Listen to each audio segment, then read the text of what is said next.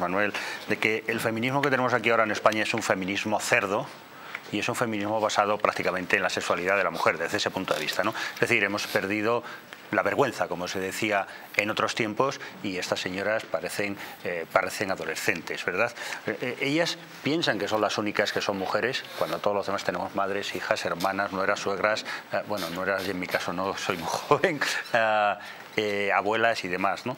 Pero yo creo que ya el feminismo en Occidente y en España han alcanzado prácticamente las cuotas y lo que realmente perseguían, que era tener una igualdad real eh, con el hombre. Y yo creo que el feminismo, y eso yo lo he echado de menos en esta izquierda rancia y, pestoseta, eh, el feminismo tiene que velar por las mujeres, por ejemplo, del tercer mundo. Es decir, vamos a pensar en las mujeres de África, vamos a pensar en, Irán.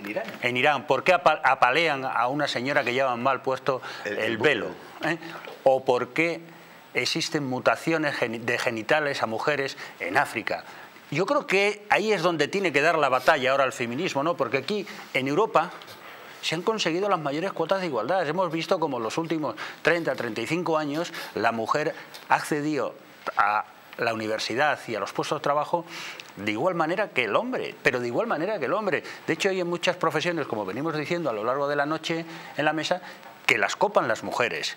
Hay empresas que hay más ejecutivas que ejecutivos y en, niveles está prácticamente a tal y como dice la norma. Entonces, yo lo que le puedo reclamar al feminismo, al feminismo, no, a estas señoras que van de feministas sin saber qué es el feminismo, es que se, realmente se preocupen por la mujer, que no la cosifiquen, que no saquen la ley trans, que cuando le pregunten a la ministra de Igualdad que qué es una mujer, no se quede inalvis. ¿eh?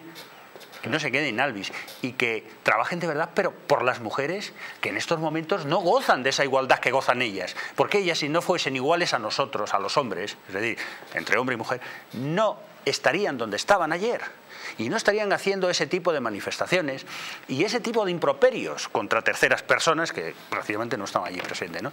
señoras, ustedes quieren seguir la senda feminista y seguir eh, conquistando cuotas, vayan a defender a las mujeres, por ejemplo, del tercer mundo, como estamos hablando aquí, o a las mujeres del Islam o, a las de África. Que, se vayan a Teherán. si no hace falta, se crucen a Marruecos. Una foto esta mañana muy gráfica. Que ahí podrían hacer un, buen trabajo.